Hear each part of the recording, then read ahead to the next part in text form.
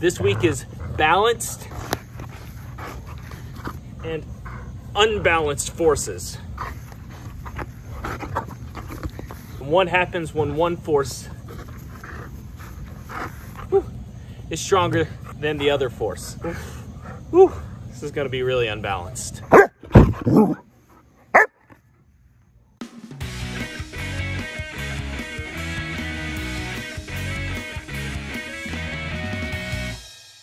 Newton's first law says, one thing. An object at rest stays at rest, and an object in motion stays in motion with the same speed and in the same direction unless acted upon by an unbalanced force. Okay, so what the heck does that mean? Basically, an object that's staying still will stay still, and an object that's moving will keep moving until a force is applied on those objects. So all this breaks down to whether or not something is balanced or unbalanced. So what exactly does that mean?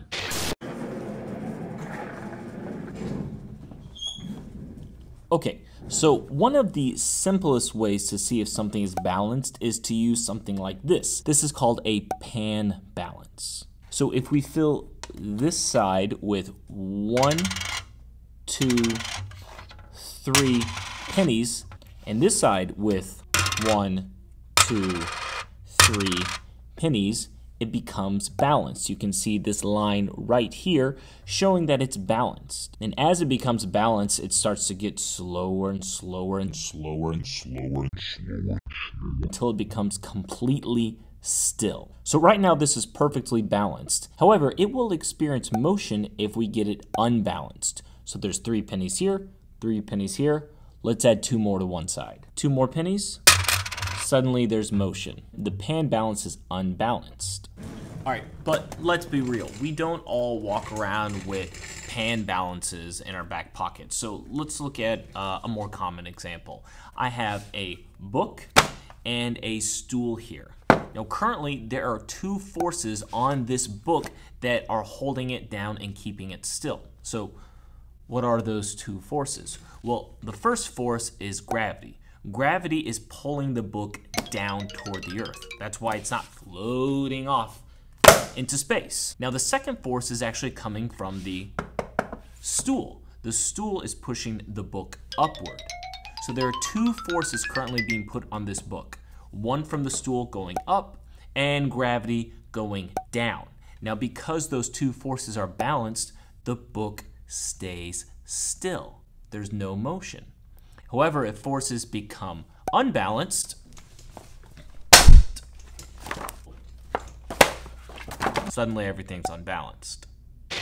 So the same idea of the book and the stool can also be applied to you. Now, you're probably sitting down while you're watching this, so why aren't you just floating off away into space in your most comfortable chair? Well, it's the same reason that the book didn't float away on the stool. It's because of gravity.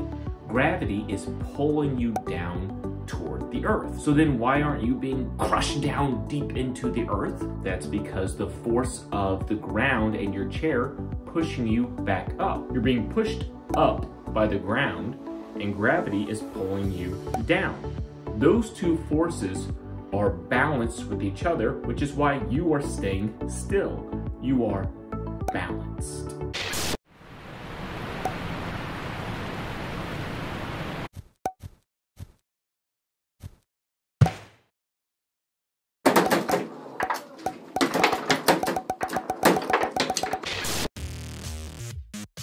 A really cool way to see balance and unbalanced forces at work is to see how air pressure can become very quickly unbalanced.